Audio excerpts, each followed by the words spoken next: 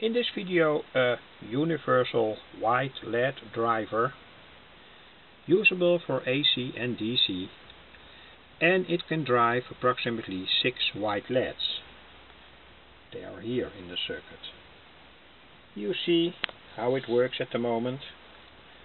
At the moment I'm working, operating the circuit on approximately 18 volts DC and in this application the circuit is usable for instance for a motorcycle to drive a few LEDs uh, and in this case approximately 6 with the dynamo from a motorcycle you will always see that when it is not loaded when the lamps are not switched to the uh, AC um, generator the voltage goes up to approximately 18 volts and um, that's why I operate this demo circuit at the moment on 18 volts.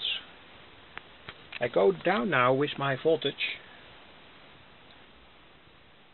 13 volts, 12 volts and I go up now with the voltage still DC to 23 volts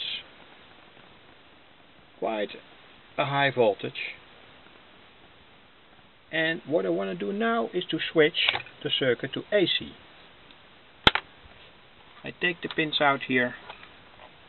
This is the AC from my power supply. The AC is approximately 25 volts. And here you see how the driver works on 25 volts AC take it out. And how it works that's very very simple. First we rectify the AC with a power silicon diode 1N5408 we smoothen the AC with this cap. And uh, when you have for instance a 1000 microfarad cap in this circuit you will see that the voltage goes up somewhat. And it has all to do with the storing the energy storing capacity from such a high capacitor. So when you want to go to higher voltages, more energy into your LED, take a 1000 microfarad capacitor. Here we have in fact used a transistor as a resistor. We drive the base with a small positive voltage, the transistor gets into conduction, that's here, this one, this is a used transistor, gets a little bit warm, quite hot even in this case, when I drive it with AC. So I go back to DC. Um, and in fact this transistor acts as a resistor.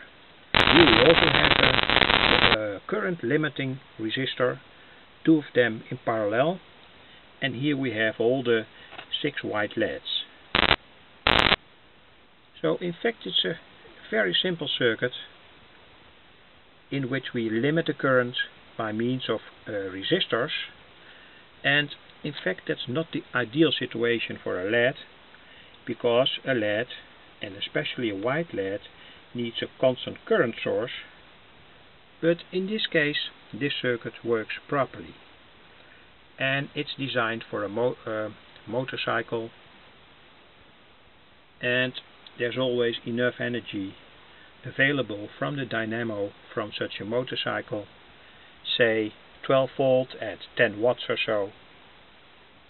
And um, that's why I have designed this circuit in this way. And of course you can also use it for other applications. It works quite well.